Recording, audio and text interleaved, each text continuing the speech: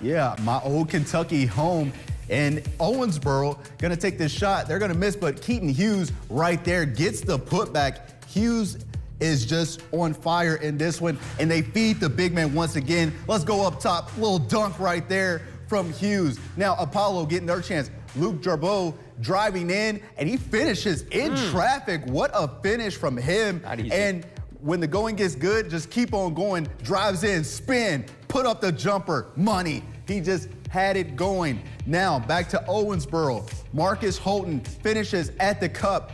Pretty move right there over past the defender, and then Owensboro just gonna have that three-party going, and the Red Devils gonna get the win 62 to 57.